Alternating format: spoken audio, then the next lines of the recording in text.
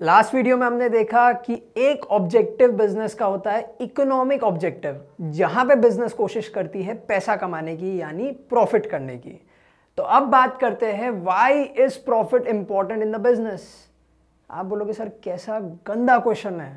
ठीक है प्रॉफिट ही तो चाहिए। बट फिर भी समझते हैं what is the role of the profit in business ठीक है? फटाफट खत्म करेंगे। The first one is survival अगर एक बिज़नेस है, जो अभी अभी नई नई एस्टैब्लिश हुई है तो उसको सबसे पहले तो सर्वाइव करना है। यानी वो क्या कोशिश करेगा? एक मार्केट स्टैंडिंग क्रिएट करने की।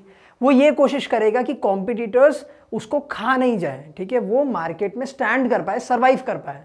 So to survive any business needs money क्यों चाहिए पैसा? एम्प्लॉयज़ की सैलरी देनी है ऑफ़िस का रेंट देना है न्यू मशीन्स खरीदनी है, इतने सारे वर्किंग एक्सपेंसेस होने वाले हैं। तो सर्वाइव करने के लिए क्या चाहिए? पैसा चाहिए। पैसा कहाँ से आएगा? प्रॉफिट से आएगा। Simple second is expansion and growth अब सिंपल सी बात है देखो। अगर आप रहते हो एक टू बेडरूम हॉल किचन के फ्लैट में और आपको शिफ्ट करना है एक थ्री बेडरूम हॉल किचन के फ्लैट में, उसके लिए आपको क्या चाहिए? पैसा चाहिए। सिमिलरली अगर आपके पास में एक फैक्ट्री है, जिसमें एक मशीन है, अब आप सोचते हो कि मुझे दो मशीन्स करनी है। क्या चाहिए? पैसा चाहिए। पैसा कहाँ से आता है? प्रॉफिट से आता है। सो प्रॉफिट क्यों इंपॉर्टेंट है? To help the business grow and expand third symbol of efficiency और an index of performance profit से ही पता चलता है ना कि हमारा बिज़नेस कैसा चल रहा है है ना? और क्या तरीका है बताओ तो कि बिज़नेस कैसा चल रहा है, ये बताने का और क्या तरीका होता है? टर्नओवर टर्नओवर चलो it's a very important thing but सिर्फ़ टर्नओवर इंपॉर्टेंट है? इमेजिन करो एक ऐसी फर्म जिसका टर्नओवर सिर्फ़ दस करोड़ का है, लेकिन वो आठ करोड़ का प्रॉफिट करती है।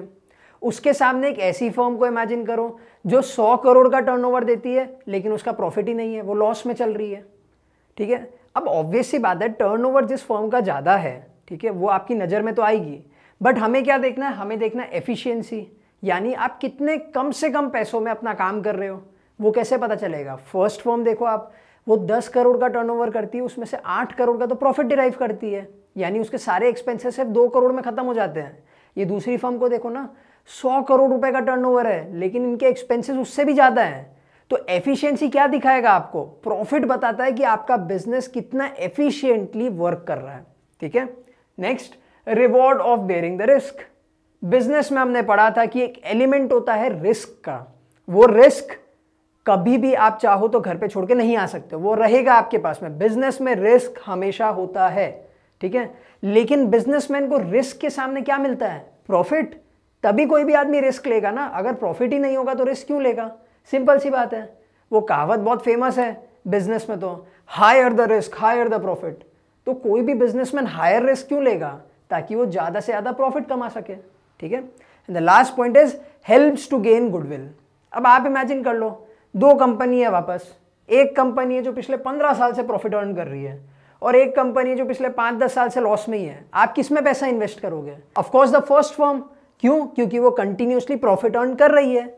तो जो भी बिज़नेस या फिर जो भी ऑर्गेनाइजेशन जो भी कंपनी कंटिन्यूसली प्रॉफिट अर्न करती है ना, उसका एक गुडविल आ जाता है मार्केट में। गुडविल मतलब रेप्यूटेशन यानी लोग उसी बिज़नेस में पैसा इन्वेस्ट करते हैं जो प्रॉफिटेबल होता है।